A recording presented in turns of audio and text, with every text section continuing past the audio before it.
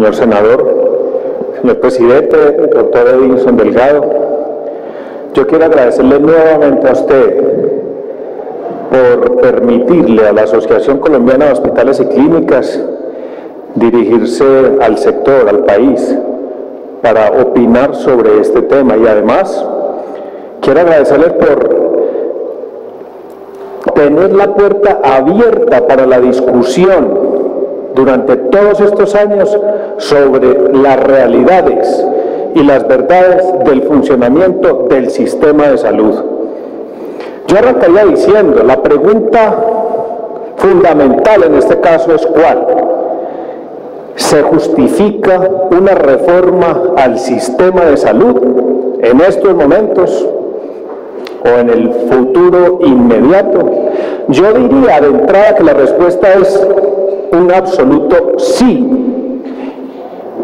Por eso este proyecto de ley llega en un momento oportuno y consideramos que debe avanzar. Pero ¿de dónde sale el sí? El sí no es simplemente una opinión. Para llegar al sí, usted tiene que mirar el diagnóstico. Y yo quiero invitarlos a ustedes, a todos los presentes, a los que nos ven, a que revisemos el diagnóstico. Porque el diagnóstico nuestro ha sido tomado con diferentes niveles de profundidad que justifican cualquier tipo de respuesta a favor o en contra de una reforma. Yo quiero invitarlos a mirar con más profundidad y arranco con los siguientes elementos diagnósticos. Lo primero, y es el que el elemento que más se presenta en todas las discusiones públicas, la cobertura. Efectivamente, cuando usted revisa la cobertura y hace una comparación histórica, hemos avanzado de un 24% de cobertura a un 98% de cobertura hoy, en lo que se podría denominar una cobertura en salud universal. Pero yo los invito a todos ustedes a que pasemos la primera página del capítulo de la cobertura y miremos en profundidad de qué se compone esa cobertura. Y ahí es cuando llegamos al terreno de la vida real, de lo que los ciudadanos están viviendo en el día a día. Para que la cobertura sea real, necesita al menos tres elementos básicos. Acceso, coordinación y continuidad.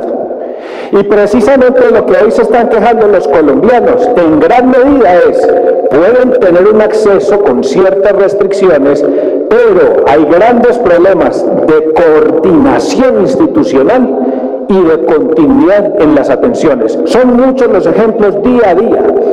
Cada negación, cada barrera de acceso, cada no autorización, cada agenda cerrada significa que esa cobertura no es una cobertura cierta, no es una cobertura completa, no es una cobertura real. Es lo que nosotros hemos denominado la cobertura pixelada. Y les pongo un ejemplo claro.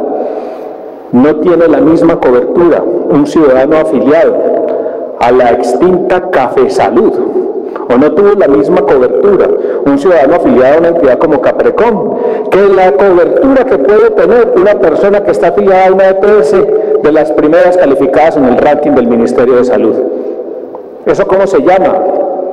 Esa es la respuesta de cuando usted pasa la página de la cobertura universal teórica. Eso se llama desigualdad, eso se llama inequidad y este proyecto de ley apunta a resolver en gran medida ese asunto. Entonces, primera parte del diagnóstico, la cobertura. Por encima se ve que efectivamente hay una cobertura universal, pero por dentro encontramos que hay problemas de segmentación, hay problemas de fragmentación, acceso, coordinación y continuidad que no son iguales para todos los ciudadanos. Segundo tema en el diagnóstico, senador, el gasto sanitario. Aquí en el diagnóstico, además en los foros internacionales, lo primero que se presenta es, hay un gasto sanitario que es del 7.2% del Producto Interno Bruto. ¿La región en cuánto está? La región, toda Latinoamérica tiene un promedio del 7.3%, es decir, no estamos tan mal, aparentemente estamos muy cerca del promedio y nos estamos gastando un per cápita de 570 dólares, cuando la región está alrededor de los 600, 650. Es decir, hay una masa monetaria gigantesca, se mueven cerca de 50 billones de pesos al año en el sistema de salud y, y además hay un gasto de bolsillo que según los reportes oficiales está alrededor del 16% y eso es presentado como un gran logro y un gran éxito del sistema de salud colombiano. Pero cuando usted pasa la página también de la financiación, usted encuentra las realidades que nos están afectando a todos, especialmente a los ciudadanos. Lo primero que se encuentra es, toma el día de hoy, lo mencionaba la secretaria Luis Valle, tenemos un presupuesto deficitario en el sistema de salud colombiano. Se han hecho adiciones presupuestales y hoy no está garantizada la cobertura financiera para todos los ciudadanos, especialmente el régimen subsidiado y otros, otros tipos de concepto de gasto. No están cubiertos con el presupuesto 2017 y para el 2018 se está haciendo mucho esfuerzo por parte del gobierno para tratar de tener un cierre fiscal financiero satisfactorio. El próximo gobierno se va a encontrar un hueco financiero en el sistema de salud. Se encuentra también una situación calamitosa del conglomerado de las EPS, con unas cifras de 6.1 billones de defecto del conglomerado, cifras fuente Superintendencia Nacional de Salud. Se encuentra un 92% de la población que está afiliada a EPS que no cumplen plenamente los estándares de habilitación financiera de las EPS tanto el contributivo como el subsidiado. Y se encuentra un tema que ustedes recurrentemente observan en todos estos debates y es la cartera hospitalaria. En el solo observatorio nuestro se encuentran 7.2 billones de pesos. Y en la cifra última que se conoció por parte de la Superintendencia de Salud hace unos tres años, en un debate en la Comisión Séptima de Cámara, se presentó una cifra de 14.4 billones de pesos de cartera hospitalaria. Eso es lo que subyace a ese tema de la bolsa, del gran porcentaje de gasto sanitario. ¿Qué significa eso? No basta con tener una bolsa de recursos suficiente, sino que hay que garantizar una transmisión adecuada de los recursos y una administración limpia de esos mismos recursos. El tercer elemento de diagnóstico, porque es que aquí hay que hablar las verdades completas, no las verdades a medias, no la primera página como le conviene a algunos agentes. Los resultados en salud. Colombia avanzado. Miren ustedes la tasa de mortalidad infantil. Hemos tenido una impresionante reducción del 33% en el periodo 2000 a 2013. Y lo mismo pasa con la tasa de mortalidad evitable, una disminución del 19% en el periodo 98-2011. Y usted diría, señores senadores, eso es un resultado fantástico el que hemos tenido. Y uno debe aceptar, hemos avanzado. Pero cuando usted también hace el mismo ejercicio, y mira con profundidad las cifras, se encuentra con fenómenos como este. Todavía tenemos, a pesar de que hay una tasa de mortalidad vital que viene disminuyendo, todavía tenemos 1.427.000 muertes evitables. Uno no puede estar satisfecho con eso. Cuando hacemos todo este despliegue institucional, toda esta inteligencia que se le hace a este sistema de salud, todas estas todos estos procesos tan intrincados que se hacen en el sistema de salud y tenemos todavía estos resultados. Invitación, hay que mirar los números con profundidad. Cuando usted además va a mirar esas tasas de mortalidad que les estoy mencionando, pero ya en el nivel subnacional, usted se encuentra otra vez de frente con la inequidad y encuentra regiones como Chocó, encuentra regiones como la Guajira, encuentra regiones como el Amazonas, que tienen tres o cuatro veces la cifra de tasa de mortalidad infantil por encima del promedio nacional. Eso es inequidad, eso es desigualdad, eso no es un sistema que esté garantizándole a los ciudadanos de manera simétrica el derecho a la salud. Y cuando usted mira otros criterios, no solamente los, los subnacionales, es decir, la cuestión regional, mira pues, criterios como el género o mira criterios como los ingresos, encontrará de manera consistente, señora viceministra, que las tasas de mortalidad evitable son absolutamente diferentes, todavía siempre a favor de los quintiles más ricos que de los quintiles más pobres. Entonces, hay avances, pero la tarea es muy larga y el sistema se está quedando a mitad de camino para conseguir los resultados sanitarios que se requieren. Hay otras partes del diagnóstico, las métricas sectoriales. Ese es un llamado de atención empezando por nuestro sector hospitalario. ¿Qué es lo que mide el sector, señoras y señores? Miren ustedes que nosotros estamos a toda hora haciendo conteos de cosas. Atendí tantos partos, hice tantas consultas, atendí tantas cirugías, interné tantos pacientes. Eso es lo que la sociedad está necesitando. La sociedad necesita agregación de valor, necesita unos mejores niveles de salud, necesita que a veces se hagan menos cosas de esas y se haga más promoción y prevención, que sea más lo que se evitó que lo que se atendió. En eso nosotros estamos fallando. Y no se diga, pensando en términos poblacionales, de la gente, la visión de la gente yo difiero de algunas de las intervenciones anteriores. Por supuesto que aquí hay, y estos son cifras del Ministerio de Salud, cuando usted le pregunta a la gente si el acceso es fácil o difícil, el 31% en el régimen contributivo dice que es difícil, el 27% en el subsidiado. Cuando les pregunto sobre los tiempos de espera, si son largos o son cortos, el 51% dice que los tiempos son largos en el contributivo y el 48% en el subsidiado. Y cuando usted mira los medios de comunicación, usted mira que la mayoría de los temas que se registran son la crisis financiera, la situación deficitaria de los agentes de la salud, en fin, quiero terminar esta parte de diagnóstico diciendo, la población tiene un 83% de nivel de desaprobación en encuestas recientes de encuestadores macro en este país. Y uno se imagina, y esto es un tema vigente para la campaña, las, todos los debates electorales que se vienen, señores senadores, ¿qué se va a encontrar el próximo gobierno? ¿Qué es lo que está pasando aquí? Para decirlo sin tantos números, un enorme faltante de recursos reconocido por el actual gobierno, una quiebra avanzada de las EPS que se está extendiendo a todos los agentes del sector, un riesgo financiero de las IPS públicas medio y alto de una cuarta parte, un 25% más un 22% que está indeterminado, una desigualdad en los resultados sanitarios, un sistema que no está promoviendo la calidad, nos estancamos en la acreditación, una cartera gigantesca, indicios importantes de corrupción en varias regiones del país, una crisis de confianza grande y un derecho a la salud que está reconocido en el papel, pero está desconocido en la práctica para muchos ciudadanos de este país.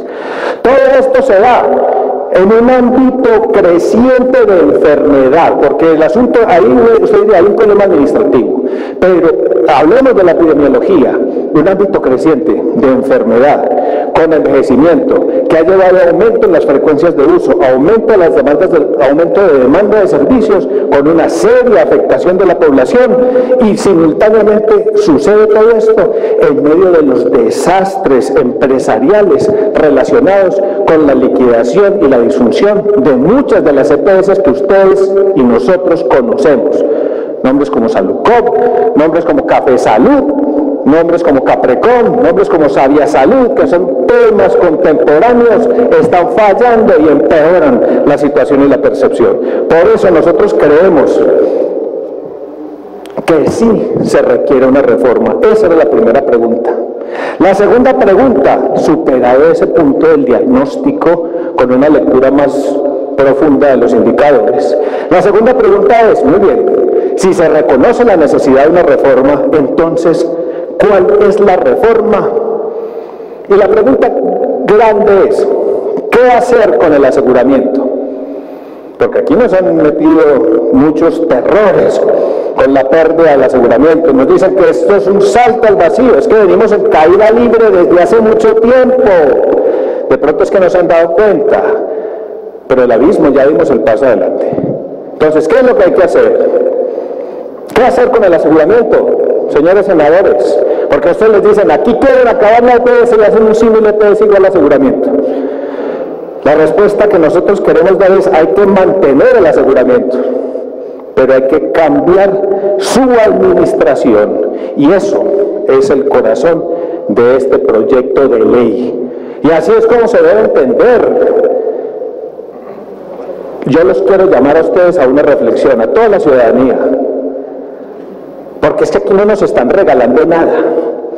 El aseguramiento, ¿dónde se gesta? El aseguramiento se gesta cuando se crean unas fuentes de financiación, se hacen unas cotizaciones, se consiguen unos impuestos generales. Y con esas fuentes de financiación se soportan unas unidades de pago por capitación, le hace unas primas de aseguramiento basadas en unos cálculos actuariales y con eso se compra unos contenidos de salud y asistenciales llamados plan de beneficios. Y ese plan de beneficios se entrega a través de la prestación de servicios en una red asistencial por medio de unos agentes que tienen unas funciones específicas. Y eso garantiza el derecho. Ese es el aseguramiento. El aseguramiento no es que llegaron tres empresas y entonces nos regalaron unos cupos de aseguramiento. Eso no es así. Lo prepagamos todos los colombianos, o con impuestos o con cotizaciones, o con impuestos a la nómina o con impuestos generales. Eso lo conseguimos nosotros y esa es la base del aseguramiento. La conjunción de todos esos fundamentales es lo que genera el, aseguramiento. ¿Y por qué les digo eso? Porque la jugada estratégica macro de la ley 100 fue dar el paso al aseguramiento, creando todas estas herramientas. Pero dentro de esas herramientas tuvo un paso táctico, que cuál fue? La creación de la EPS como gestionador de ese aseguramiento. Táctico, porque los fundamentales y estratégicos son la conjunción de los otros de los otros fundamentales. Por lo tanto, los agentes en el sistema de salud, señores senadores, son unos efectores de prestaciones como los hospitales y las clínicas, o son unos usuarios asegurados sujetos de derecho, o son unos agentes gestores del aseguramiento como las EPS, o son los gobernantes que tienen que coordinar y hacer la rectoría, o son los vigilantes. Esos son los agentes dentro del sistema de salud. Por lo tanto, la conclusión nuestra aquí es que el aseguramiento y la EPS no son sinónimo y por lo tanto remodelar el alcance de la EPS es un movimiento táctico que no acaba el aseguramiento, señores senadores. Porque así es como atacan el proyecto de ley, generando desinformación y pánico. Pánico el que tiene toda la gente que está sufriendo disfunción en el aseguramiento hoy. Eso sí da miedo. No esto que es una salida sin destruir lo que se ha logrado en el sistema. Entonces, ante las evidentes fallas de las funciones de ese agente táctico, las funciones, recuérdelas, administración del riesgo financiero, gestión del riesgo en salud, personal del agente y garante del acceso, ante la disfunción de muchos de esos operadores en muchas de esas funciones, es razonable hacer una nueva asignación de funciones dentro del sistema de salud. Por lo tanto, yo sí veo este proyecto de ley desde el punto de vista positivo como una evolución del aseguramiento elevando el nivel del mismo al nivel central y definiendo unas funciones explícitas a la gente o a la agencia de administración del aseguramiento. Lo llamaría parodiando el sistema chileno, esto sería un sistema de aseguramiento universal con funciones explícitas. Eso, así debería ser entendido este sistema. Mi tercer punto y voy redondeando. Si se entiende que el aseguramiento se preserva, así como comprendo yo la intencionalidad de este, de este proyecto de ley, ¿cuál es la reforma requerida? Muchos de los elementos que nosotros creemos desde el gremio hospitalario requiere el sistema para funcionar mejor están contenidos en este proyecto, porque a diferencia de lo que muchos ven que solamente van con una mirada teledirigida solamente a un articulito o a un paragrafito, Aquí hay una serie de capítulos que desarrollan temas tan grandes como la salud pública, la vigilancia y el control, el financiamiento y la administración del aseguramiento. Este es un proyecto integral, este es un proyecto grande, este es un proyecto con una mirada panorámica. Por lo tanto, sí, habrá algunos que se sienten afectados, pero yo creo que el conjunto de beneficios de este proyecto es mayor y supera de lejos las críticas que se le pueden hacer y que creo la función de estas audiencias es que se puedan presentar las observaciones. Nosotros les presentaremos a ustedes por escrito cada una de estas observaciones. Entendiendo que el aseguramiento se preserva, ¿cuál es la reforma que nosotros creemos que requiere este país? Primero, Debo hacer un paréntesis para recordar una cosa. Leo este proyecto de ley y me recuerda un proyecto de ley que se manejó hace cuatro años y que llegó hasta la Comisión Séptima de Cámara. Este es un proyecto de ley reeditado, mejorado, ampliado y es una versión mucho más avanzada del proyecto de ley que el propio gobierno nacional promovió y le dio la vuelta a Colombia defendiéndolo hace cuatro años enviaremos las observaciones puntuales. La reforma que nosotros creemos que se debe hacer, en gran medida, hay algunos de esos elementos aquí en este proyecto, la, la resumo así. Primero, hay que hacer una revolución en la atención primaria en salud. La base del sistema de salud tiene que cambiar. El capítulo 2 de este proyecto de ley tiene muchos de esos elementos.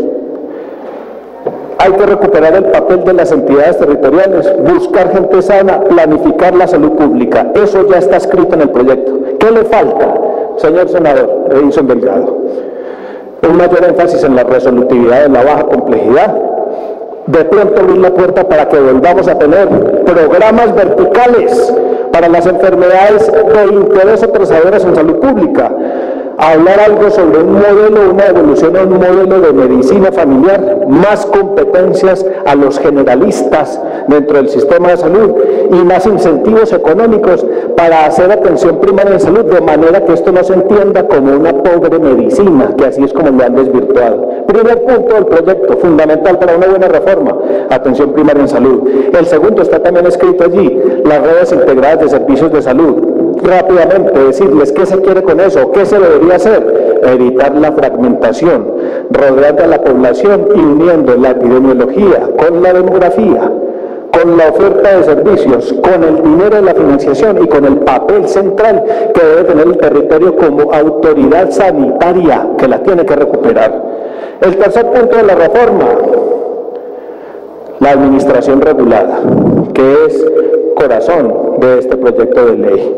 La administración regulada entendida como unos gestores o unos administradores regulados o unos articuladores que deben tener unas funciones explícitas, deben ser gestionadores o gestores de soluciones, tienen que ser remunerados por la administración sin manejar toda la masa monetaria, que tal vez eso es lo que les duele, que en este proyecto se lleva una lógica económica de contener el desgreño administrativo, reteniendo toda la plata que no es de ellos sino que es de todos los colombianos, reteniéndola en un nivel central y permitiéndoles una remuneración por las actividades que hacen de administradores regulados, cambiando los incentivos, concediendo el dinero ex post, es decir, después de que se han hecho las cosas, ahí ustedes verán cómo ese articulador sí va a ser la homeostasis del sistema de salud y va a tener incentivos para hacer las cosas. Y el cuarto punto de, este, de esta reforma sería un banco de la salud ya la cuota inicial está funcionando y está hoy en buenas manos. Es el ADRES. Pero el ADRES está quedando corto. El ADRES tiene que ser, para que no nos sigamos engañando aquí, pensando que allá afuera hay aseguramiento. Aquí ha habido un falso aseguramiento. El aseguramiento real siempre ha estado arriba. Hacer que el ADRES sea ese asegurador central. Porque el ADRES debería tener la capacidad de recaudar, la capacidad de ser pagador universal y ser una urna maestra de información en el sistema que es la base de cualquiera de las decisiones buenas que se tienen que tomar de aquí para adelante, pensando que tiene que tener una operación bancaria, un sistema de información profundo, ser el asegurador central y evitar a toda costa los costos de transacción y de intermediación e inclusive de corrupción que hay en el actual sistema de salud. Eso es lo que estamos pensando nosotros con ADRES. Prefiero llamarlo Banco de la Salud. No debe haber integración vertical. Y en ese, en ese proyecto de ley de pronto se queda corto, hay que hacerle un par de adicionales para que haya. Lo estamos viendo hoy, ayer lo veíamos con Salud Cop, después lo vimos con Café Salud, hoy lo estamos viendo con el tema Medimás, integración vertical, no es una buena salida, ni de arriba abajo ni de abajo arriba, no señores, debe haber papeles explícitos y roles puros de cada uno de los actores. Y lo sexto, que ya le mencionó alguien, señor senador, acabemos esta segmentación de la población. Si vamos a poder tener un plan de beneficios para todos, tengamos un sistema único de salud, no más contributivo y subsidiado, no, que haya un sistema único de salud. Mis conclusiones, como cuarto y último punto, ¿cuáles son? Creemos que está justificada una reforma al sistema. Creemos no solo que está justificada, creemos que es indispensable. Consideramos que este proyecto de ley es una evolución en ese sentido, que construye sobre lo que se ha logrado y que modifica lo disfuncional. Faltantes de este proyecto de ley para enriquecer la discusión de ustedes. Primero, no habrá reforma sanitaria en este país que funcione si no somos capaces todos de avanzar en la búsqueda de un rescate financiero del sector salud. El próximo gobierno se va a encontrar esos faltantes y va a necesitar, para que esto pueda arrancar con pies sólidos, con bases firmes, un rescate financiero. Segundo, hay que retomar la rectoría del gobierno. Aquí se tomó la decisión de tercerizarle la rectoría en gran medida al, al mercado y eso no ha funcionado bien. Tercero, hay que restablecer la participación real de la ciudadanía. En otros momentos pedimos que se abriera la, Comisión de Regulación en Salud. Eso no salió bien. Y hoy hay una instancia asesora que tampoco se cita ni funciona bien. Creo que es bueno volver a pensar en ese nuevo sistema o en esa evolución del sistema de salud, en un Consejo Nacional de Seguridad Social. Y se tiene que mejorar la función de inspección, vigilancia y control se tiene que llegar a tener una central de inteligencia en la superintendencia de salud, o que la superintendencia sea la cabeza de una gran central de inteligencia que la coordine. Y esto termina diciendo ese punto puede ser el enlace con otros proyectos de ley que sé que caminan, que por ejemplo hablan de invocar las funciones de la superintendencia financiera o de crear centrales de información transaccionales dentro del sistema de salud. Creo que hay un punto de enroque para la acumulación con otros proyectos de ley que puede ser el momento ideal para avanzar con más fortaleza política al logro de la reforma. Señores senadores, termino diciendo que hay que avanzar con la reforma. Hay que avanzar con estos debates y creo que este es un punto central que se le debe exigir a todas las campañas presidenciales de este país que tengan un punto claro sobre cuál va a ser el modelo de salud en este país. Muchas gracias.